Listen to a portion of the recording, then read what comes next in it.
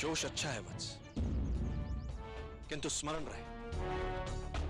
बड़े बड़े योद्धा मात खा जाते हैं जब वो जोश में होश खो बैठते हैं। युद्ध का पहला नियम है अपना युद्ध चुनना सीखो। कब, कहाँ और किससे? युद्ध नीति कहती है कि वार सदैव अवसर देखकर ही करो। कैसा अवसर आचार्य? आज सब कुछ समाप्त।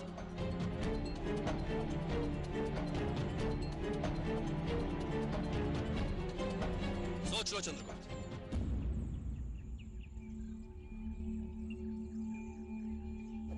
तुम सब समाप्त करना चाहते हो या सब कुछ आरंभ करना चाहते हो? सोच लो कि तुम आम्बिक जैसे छोटे कपटियों से लड़कर अपनी गुणवत्ता व्यर्थ करना चाहते हो या मेरे साथ चलकर अपनी निपुणता को निखारना चाहते हो? मुक्ति तो शीघ्र ही मिलेगी, चंद्रगुप्त।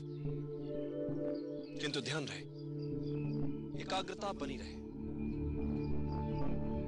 कठिन पथ पर चलने पर कई बार धैर्य टूट जाता है, हृदय विचलित होने लगता है। और कई बार तुम स्वयं से प्रश्न पूछ बैठोगे।